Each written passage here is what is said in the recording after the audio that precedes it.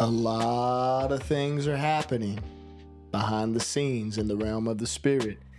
And all of these countries are going to have some similarities in the future.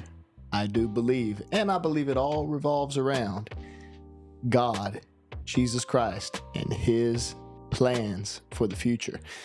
But this is episode 29 of that Supernatural Talk podcast, and we have something to talk about.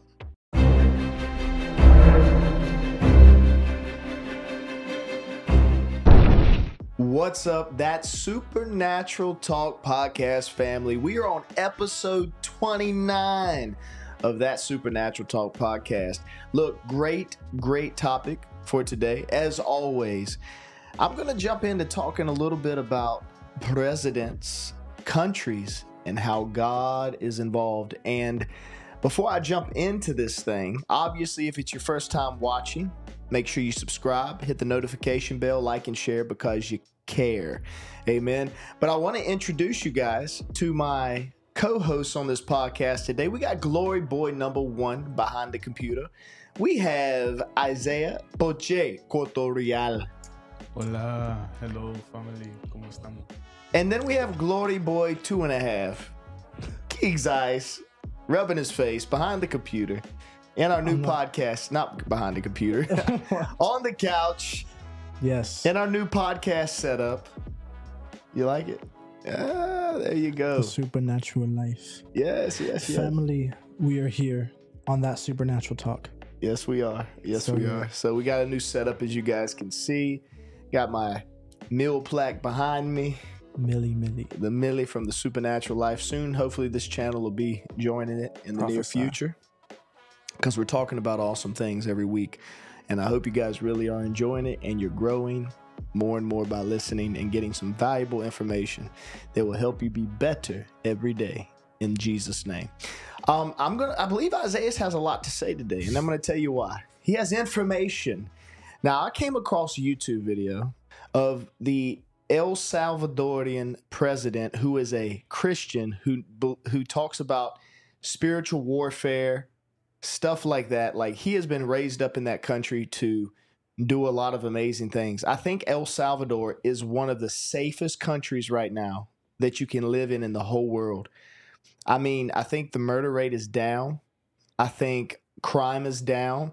I think a lot of things are changing because of the leadership of that country. Now, there's no perfect leadership, but any leader that will glorify Jesus Christ is okay by me.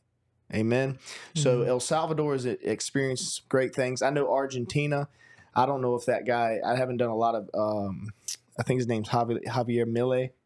I, I haven't done a lot of research on him, but I do believe that he is doing a great job in Argentina. Also, um, making a lot of the powers that be mad, not happy, which you know it happens. There's an agenda out there. There's a demonic agenda, but Jesus always has his trump card. No puns intended, but you know, it is what it is. And I believe the United States of America is going to be experiencing some of that same amazing grace that we're seeing in countries like El Salvador. I'm optimistic, guys. I'm not a pessimist, okay? I don't see the negative. It isn't that I'm just all everything's rainbows and butterflies, but I do like to do my I like to do my best to see optimistically and to try to really see also prophetically um, what God is doing. And I think we're coming into a great season. That's what I believe. I'm not saying there won't be persecution, trials, all that stuff that we come against. And, you know, the devil, he's not going to be happy. But I believe a lot of good things are on the horizon. But Isaiah, what do you know about the El Salvadorian president? And and what do you what is it you like about what he is doing? Because I know you were talking to me. You said you've been keeping up with what he had been doing mm-hmm. for a while. So you've been with him on his journey, right? Yeah, I I actually saw when he had first got elected, and it was like a whole thing. Even when that happening, if people look at him like, who's this young guy, who's this dude on the new like on the scene, and um, but what stuck out, what stood out the whole time when I, I saw him come into power was that like he was putting Jesus at the forefront, but it wasn't in like a passive way. Like for people that don't know, um, El Salvador is one of the homes for like one of the, where it was one of the homes of like the most dangerous, infamous gangs in the world. You might know him as MS13 or Barrio 18. Also, is um, MS13 and then Barrio 18, which is 18th Street, which are actually rival gangs. And El Salvador, just like many other countries in Central and South America, were like the the wastelands of these gangs, and they'll run them through. So he comes into power, and like his first thing is like, "We gonna clean this up." Like it's this is this is like a no tolerance towards the gangs, and like he came in with such a power, like such an authority, grabbed the military and the army that they had, and like the police, and like said, "We're not gonna be pushovers anymore. We're gonna come through with the hand of God, with the grace of God," and literally push them out. Like literally, like literally push them out, clean them out. I've The seen- gangs. literally I've, I've seen videos and pastor chewy who's the head of the frontline ministry here in the in the supernatural life he was actually part of barrio 18 which is 18th street which is the rival gang of ms13 and like he would send me videos of like inmates like being washed with hoses like being humiliated like being told to like hold their arms a certain way just to like to like crush the spirit of this gang of like this pride that the gang had so so tremendously it's like how he did it was so strategic it was crazy But Yeah, and he's 42 years old. He was born, uh, from what I'm seeing here, he was born in 1981, July 24th, 1981. He's 42. Nayib Bukele, I think is how you say his name. I could have butchered that, but you know, just from what you said, Mhm. you can't tolerate evil. Mhm. Period. Right. If you give a little bit of room to evil, it'll come in and take completely over. Right. That's what I've learned, and it, it it it's like our way or the highway. There's no negotiation when you deal with evil. I mean, you look at Hitler. Hitler came over straight takeover, right? So like when you let evil leadership in, they allow evil things to come in, and it just it's a huge mess. And this is what I believe about leaders over countries. What they contain is what the wor- what their country is going to get, right? So mm-hmm. when you see things taking place in certain places, it's because of what is flowing from the top. If it's majority, now you might have a little thing here and there, but majority is usually something's flowing down from the top. So when you look at a country and you see certain things being allowed, it's because of the power that's running it. Some people are puppet presidents, and puppet presidents are getting told information from other places. So they're really not the ones running the country. The source is from somebody else. They're just set up to be the the figurehead. You know, kind of like we have countries with kings and queens that have no power today. They're just figureheads, right? Some places are like that with presidents in this day, prime ministers, whatever it may be. Um, you know, emperors, rulers, whatever you call them. They are some are figureheads. Some are just there. Yeah. I think there's only one country that actually has a king and queen now that actually has power over the country, Liechtenstein or something like that. But anyway, that's a whole nother conversation. Um, but what is in the leader is what comes down. So what you're seeing is what is in this leader having a zero tolerance policy for evil, for for the these gangs and these things. Mm-hmm. He said, "Not in my country, not in the place that I love, not in the place that I grew up, because I've seen what these gangs are doing. I've seen how they're hurting people. I see how they're hurting women and children. I see how they're they have these money things going on, these money rackets, mm-hmm. how everything's wrong. We're going to clean this up for the righteousness of Jesus Christ. And what I like, like I said about this guy, is he is spiritual warfare minded. He knows demons are behind these people, mm-hmm. and he knows that the devil is moving their moving them with his lies and his de- their de- his deception, and they're believing the lies. So we see what we have, right? Yeah, like, So- yeah, literally, literally what you said, clean. Mhm. Like he was literally, he was literally washing these dudes like with hoses. It's prophetic. Literally washing them with hoses and making them walk in straight lines and like line up like kids, like in the prison where that they were running before. Mm. In in those areas in those countries, like the inmates run the prison. yeah, Like as much as you know here in the U.S., like inmates run the prison. No, like the inmates run the prison. Literally, like they let people in and out. Like they're the ones controlling the food. Everyone they're controlling. What's but not going- anymore. not, but not anymore. Wow.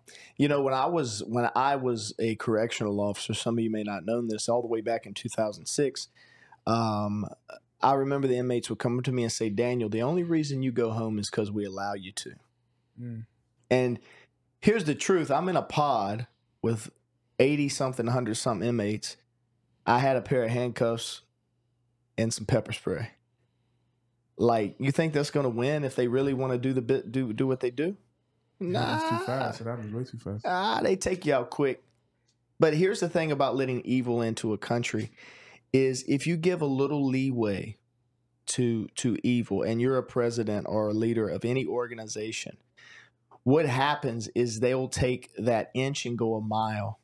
And that's when they start to gain power in certain vicinities and then they start to make the person that gave them the leverage now you have to negotiate with the, the evil you have to no- negotiate with the leverage just to keep everything uh, copacetic copacetic copacetic Copacetic. Yeah, you got it. yeah copacetic to keep every keep everything you know in a good good way so um, you get in that get in that way and you think you're being the nice guy you're you're helping these people. It, it's almost like in mexico with the cartel and all that stuff you know It's You- the same gangs actually. oh it is? So yeah you need you need to be you need to work with them. They're like look if you don't do this we're going to do this this and the third right? Um, when we went to that refugee camp the pastor said that there was heads on stakes waiting for him when he came in as a threat like if you don't change this is going to be you. So they use violence. They use mm-hmm. evil to get their agendas done. Mm-hmm. And that's why i like it. I personally me my opinion should be yours too is when we have leaders presidents coming into power and removing the evil you should celebrate that because that means your family and your generations are going to be safe for some time and you see that in actually the Old Testament with Israel. Israel, leaders arose up. They were pushing back the Baals and the Ishtars and the, you know, the prophets of Baal and all. They were being pushed out. Any of the idols were being removed. It says that this king rose up, removed the idols from the land, and all of this stuff. And that is to get everything moving in accordance with the law of the Lord, you know, and to get everything moving the way it's supposed to be. And I believe that's going to come from America. I believe we're going to have a leader. I, I do believe we'll see the Don back in, and I believe he's going to clean up stuff. And and the evil that has been there, the things that have money power in certain places don't want that to happen because they're going to lose their influence and they know that this man will come in and clean up the streets just like the El Salvadorian presidents you know? And it, you can say what you want guys. It's the truth and the truth sets you free. It's the truth. We need righteous leadership to clean up this evil mess. Mm. we do. What do you think keegan? You haven't said nothing yet. I want to let you talk about the matter Um, I was actually just researching this guy a little bit more, and what I love about him, and it honestly reminds me of my favorite president that's been in office. Um, not the one now, obviously, the one before who's coming back in Jesus' name, but it reminds me of him The a little Don. bit. Yeah, the Don. That's what we'll call him, the Don. Um, you know, they're censoring stuff like crazy right now yeah with the go with what's going on. But um, I love because it was saying that he wasn't part of the major political parties. So Mm. that there's a so in El Salvador there's a huge leftist wing, and then there was a right wing. Um, and he was saying that he kind of came up out of nowhere, like what Isaiah was saying, and he was more independent. And so I really think that it's it's cool that he was able to come in and he carries that Christ-like character as well. And you know, he doesn't have a political agenda.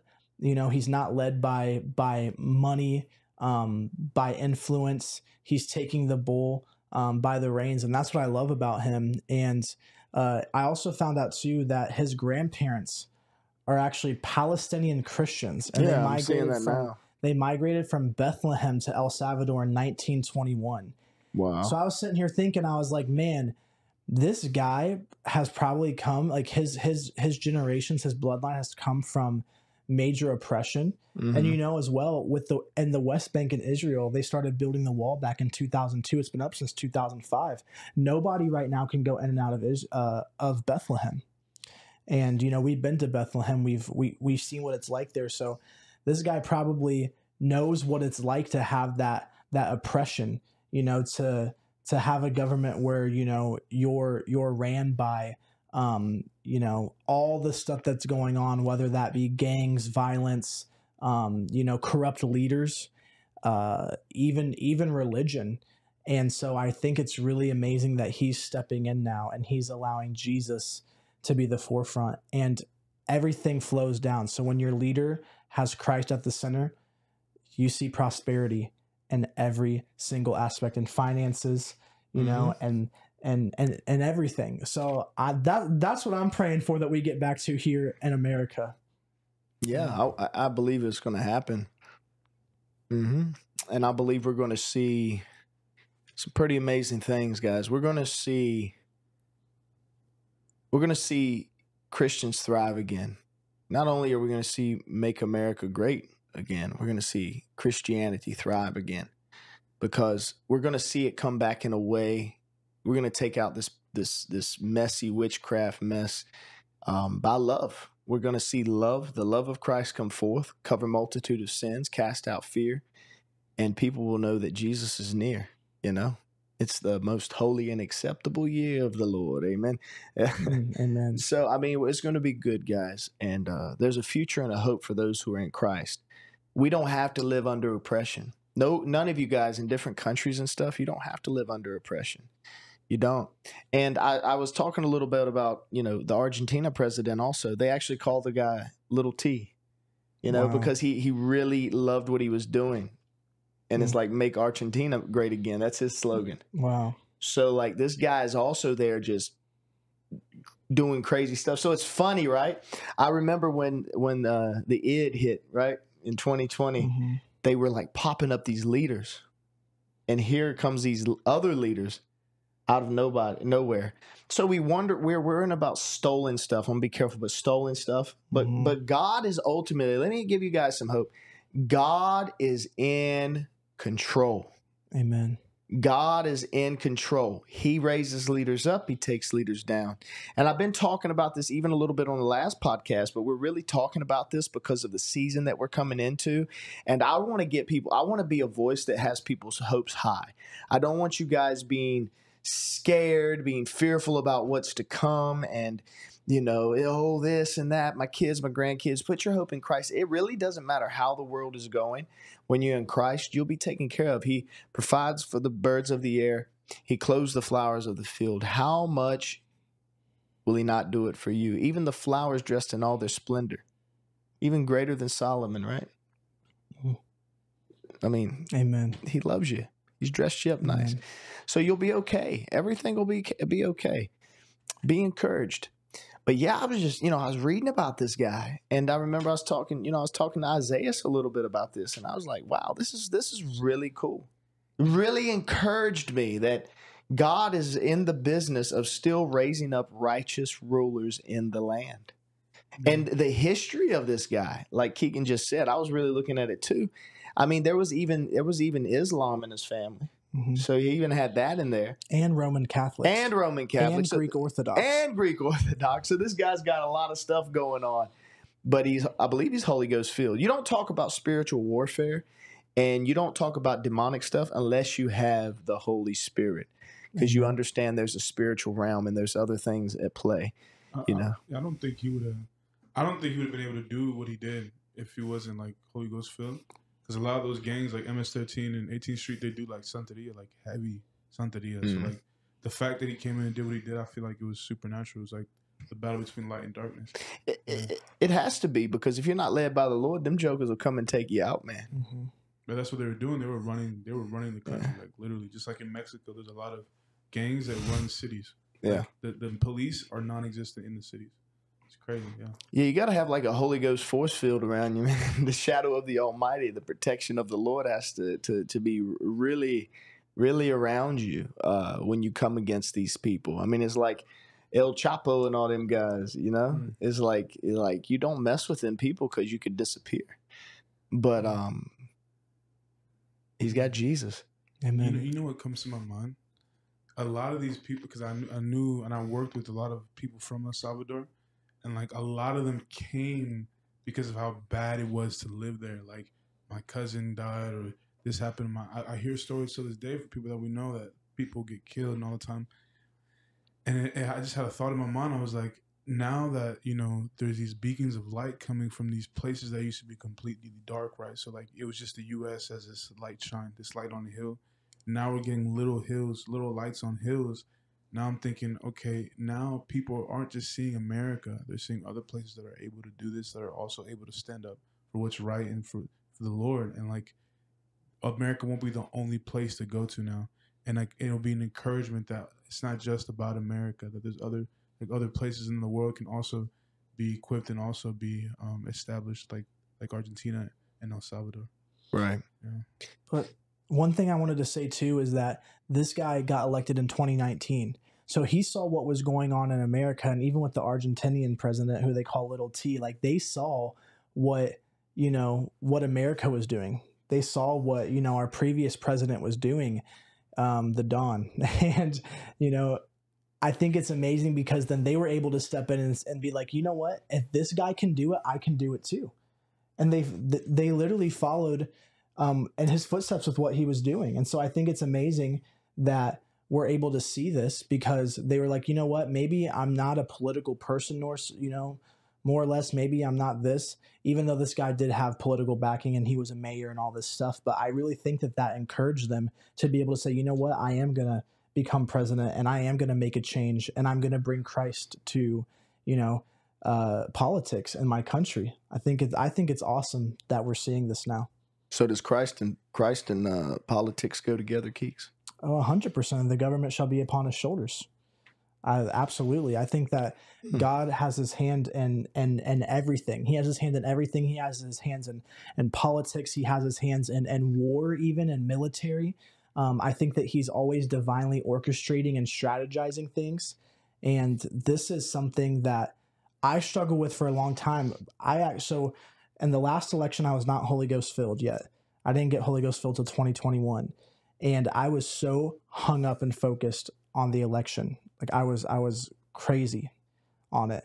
And I was so angry. Well, I was Holy Ghost filled and I was hung up on it. I think it was just a whole diluted spirit or something Yeah. going on, man. Yeah, I mean, I, w- I remember I was so angry. I was so upset. I said, God, how could you ever allow this to happen? I said, you know, they it was they cheated. Like I'm so I was so so mad. I was like, that's it. I'm I'm I'm moving out of the country. if I wanted to do that.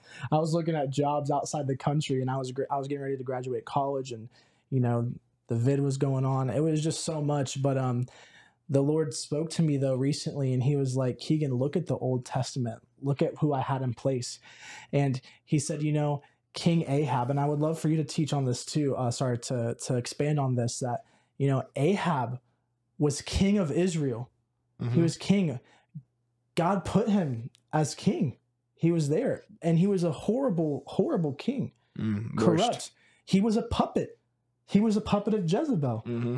And we're seeing the same thing now. But what happened? What happened? A Jehu came. Mm-hmm. He wasn't a he he, he wasn't in, you know, royalty, wasn't in, you know, part of the king or queen's family, right? He wasn't he he was he was a soldier. He was a soldier. And a prophet came and anointed him as king and he came and took over. And he got, you know, he he destroyed Jezebel and the whole family. And so I really think that we're seeing that happen in modern time today, right now. Amen. So, guys, there's a future and a hope. I mean, I just saw that and I was like, wow, I really love what God is doing. And I see there's righteous leaders in the land. I know that some people are always screaming about end times and stuff, guys, and we are in the last days. We are in the end times, but it's a lot of work to be done. And the Lord is about souls, and He wants souls to be saved, and He wants people going to heaven, or He wouldn't have sent His one and, be- one and only begotten Son to come and do what He did and die the death that we deserved. And He rose again, and here we are with the free gift of salvation if we accept it. Amen. So, anyway, guys, this has been episode 29 of that Supernatural Talk podcast. I pray that you guys have been encouraged. You know that there's hope on the horizon, that you don't have to be led by an Ahab. You get to be led by real kings and real ki- queens in the kingdom of God. That means presidents and rulers that have Jesus Christ on the inside. They're kings and priests and we get to let be led by people like that because they are a royal priesthood just like us. We are kings and priests in god's kingdom. Hallelujah. Amen. Amen. all glory to jesus christ. Guys before we end episode 29 of that supernatural talk podcast you know who i got to give it over to. I'm going to give it over here to keegs ice he's going to close us out and he's going to tell you what everything is all about. So take it away keegs Thank you, that Supernatural Talk family, for watching episode 29. We can't believe you've been sticking with us so far, but we hope you're enjoying it. And hey, I want you guys to comment down below what you think about all this. Comment down below if if you have similar testimonies, stories, what you think about what's going on in America, El Salvador, Argentina. We'd love to hear from you guys, and we'd love to comment uh, with you guys in the comment section. So make sure you guys comment down below and as well as liking and sharing this video. And another and other ways that you guys can support us as well is by going to the links in the description. By clicking on those links, you're going to see a couple different ones. One way is joining this channel. That is right. And it's one of my favorite ways to be involved here with that Supernatural Talk podcast because weekly, weekly we put out exclusive behind the scenes videos, things that we would never ever talk about on the main podcast. We talk on there. They're crazy hilarious, and out just I can't even describe this last behind the scenes podcast episode. It was so crazy. So make sure you guys become a member. You guys can do that by joining the channel and the link below. Also, for all of you guys listening on our other platforms such as Spotify, Apple Podcasts, you guys can click the link on Buzzsprout, which is our hosted website, and you can become a monthly donor on there. And last but certainly not least, you can become a forerunner. That's right. Go to www.thesupernaturallife.org and become a forerunner. You get access to everything. You get access to everything in the ministry, exclusive uh, forerunner teachings, all of our all of our schools on the fivefold ministry, our prophetic school, pastoral school, deliverance schools, all that stuff.